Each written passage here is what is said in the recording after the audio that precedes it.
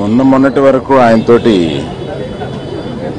Cinema రాయించుకుని మొన్న most eligible బ్యాచులర్లో కూడా ఆయన ఓ పాట రాశారు. ఆయన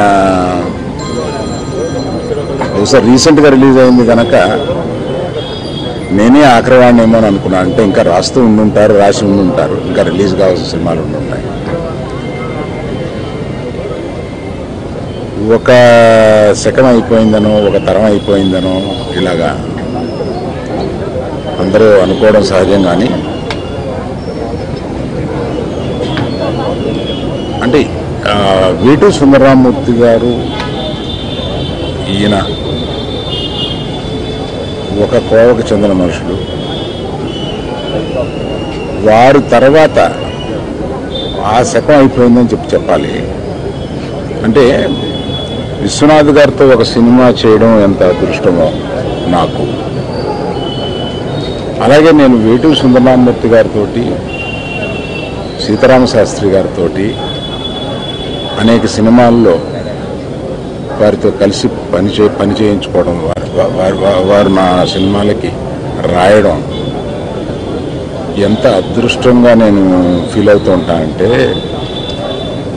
చరిత్రలో మిగలడానికి మనం అటువంటి వాళ్ళతో పనిచేస్తే కదా అనిపించే అంతటి అంటే ఎప్పుడూ ఆశ్చర్యపరుస్తాడు ఆయన.